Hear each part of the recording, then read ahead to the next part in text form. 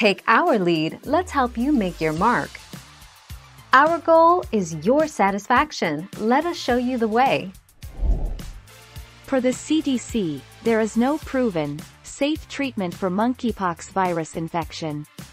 However, the U.S. has been known to control minor outbreaks using the smallpox vaccine, antivirals, and Vaccinia immune globulin, VIG, according to the CDC.